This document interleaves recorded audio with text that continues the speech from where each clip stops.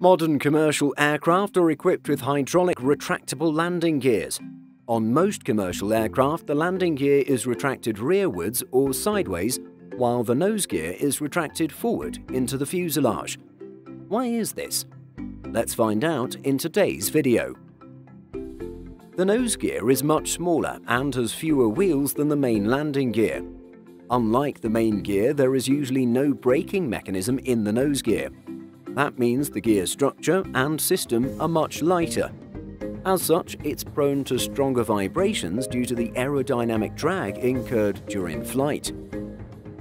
When the aircraft takes off, the forward retracting design forces the gear to overcome the air resistance. This is easier to do since the aircraft is at relatively lower speeds.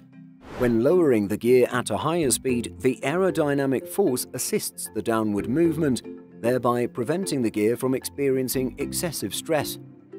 A rear retracting design may be more advantageous during stowing. However, inward forces would impose significant stress on the gear during extension. The structural members are designed such that they carry the load of the nose gear assembly away from the front door. The forward retracting design acts as a fail-safe system as part of the safety mechanism on commercial airliners.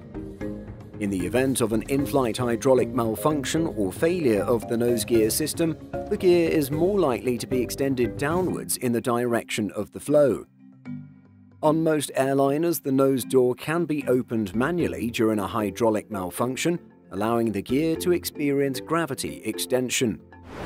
The oncoming aerodynamic force aids in putting the gear in place, the gravity pull in a rearward design could be prevented by the drag the aircraft experiences during flight.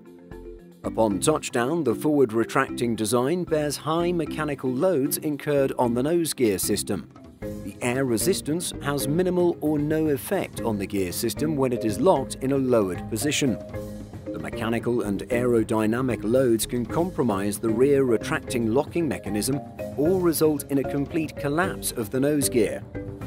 It's noteworthy that many military aircraft use a rear retracting nose gear mechanism with a locking knee for added structural support. The forward retraction design maximizes the cargo space by utilizing the space in front of the fuselage. The Russian Tupolev Tu-154 and Tu-134 use the rear retracting nose gear design, which takes up much of what could be the cargo space. Notably, the rear retracting design was inherited from older Russian airplanes that allowed the space for the glass nose seated navigator just beneath the cockpit. What are your thoughts on the forward retracting nose gear design? Tell us in the comments section. In addition to our daily YouTube videos, Simple Flying publishes over 150 articles every week. If you're looking for the latest aviation news and insights, visit simpleflying.com.